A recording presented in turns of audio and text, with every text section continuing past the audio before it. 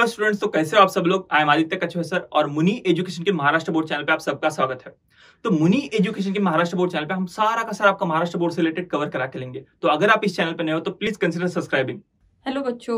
Now we are studying our next poem from the book of Bal Bharati English, class third. The name of the poem is I would like to be a lighthouse. इसका meaning क्या होता है? मुझे lighthouse बनना अच्छा लगेगा। Be a lighthouse. क्यों लगेगा? लाइट हाउस क्या कर, काम करता है? और लाइट हाउस कहाँ होता है? आपने देखा है? बिल्कुल समंदर के किनारे पे होता है लाइट हाउस। ऊँचा सा टावर उसके ऊपर एक बड़ा सा लाइट। क्यों होता है ये? ये होता इसीलिए है जो शिप समंदर में घूमती है उसे दिशा बताने के लिए डायरेक्शन बताने के लिए लाइट हाउस यूज़ होता है। तो ये बच्चे को क्यों बनना है?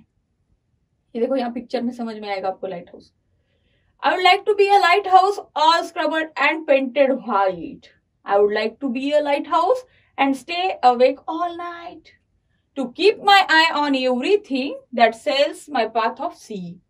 I would like to be a lighthouse with the ship all watching me.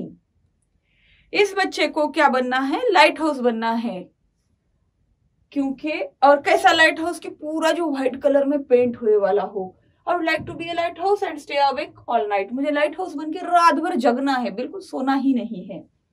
To keep my eye on everything that snails my patch of sea I would like to be a lighthouse with the ship all watching me और ये बो, क्या बोलता है कि हर कोई जो cell कर रहा है ना, उस पर मैं वॉच करना चाहता हूँ, ध्यान देना चाहता हूँ।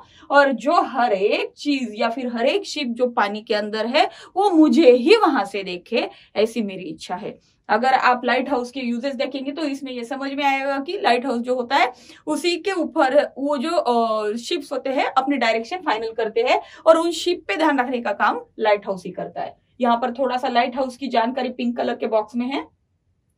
House is a tower building और a tall structure on the seashore lighthouse होता क्या है? एक ऊँची सी बिल्डिंग या फिर टावर का स्ट्रक्चर सी शोर समंदर किनारे पे। From the lighthouse big beams of flash of light are thrown out इस लाइट हाउस के अंदर से लम, दूर तक जाने वाले बड़े बड़े बीम्स जो होते हैं ना लाइट के किरणें वो बाहर फेंकी जाती है। These beams help ships to see the navigate. To find their way across the sea और ये जो बीम्स होते हैं, ये जो उजाला होता है, इसको ही देख के शिप्स जो है नेविगेट करते हैं, दिशा फाइंड आउट कर सकते हैं। They can tell the ship that there is a port nearby. It is safe to go near the port or that there are dangerous rocks under the sea. Etc जैसे सी शोर आता है ना, समुद्र किनारा, वैसे ही थोड़ा सा पानी छिचला हो जाता है। अगर समंदर किनारा कहाँ है या फिर ये समंदर किनारा कैसा है, ये लोगों को समझ में नहीं आएगा पानी के अंदर से।